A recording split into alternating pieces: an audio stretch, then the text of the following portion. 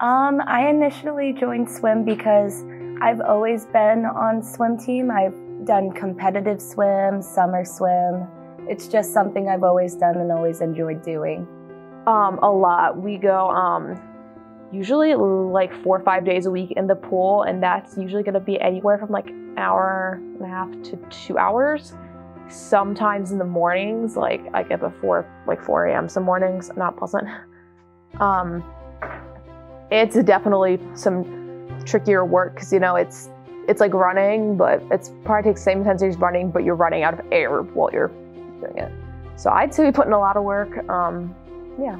Um, my last swim meet, it was really fun. I got to swim the 100 back and the 200 free relay and the 400 free relay. Our team actually won the meet. It was really exciting. Okay, so this is actually going around right now.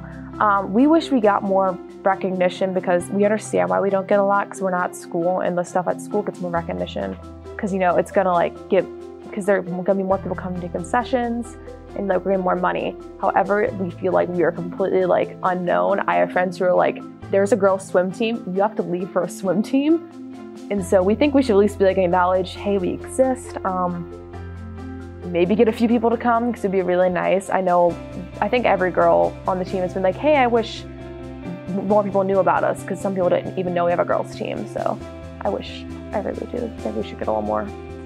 I don't think that girls swim gets enough recognition. I mean, we don't really have many students from the student body who come and support us, but um, mostly our student section is full of our parents. I think it's important that girls swim gets representation because it's a fun sport and it's really enjoyable. I've always enjoyed doing it and I think others would enjoy doing it and watching it.